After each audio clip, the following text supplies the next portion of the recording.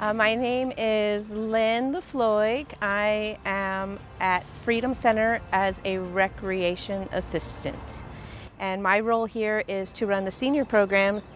Um, I provide activities for them. I schedule the guest speakers for them, make programs for them. My forte is parties, love to do parties for them.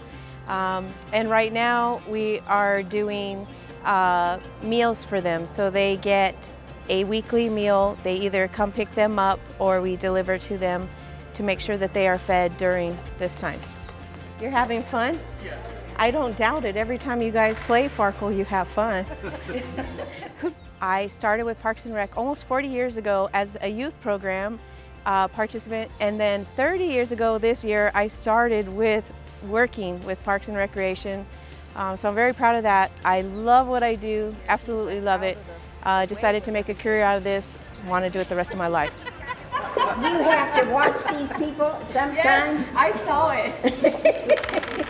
Uh, the legacy I'd like to leave behind starts with my motto as uh, being somebody that wants to make everybody feel like somebody. And if I can touch somebody's life as they enter those doors or when they walk into the park and have a positive experience, I feel like I have left my stamp, then I know that I have done my job and I have left my legacy. Is your streak back? And hopefully my name would carry on. Now Al's gonna take it over. It's gone.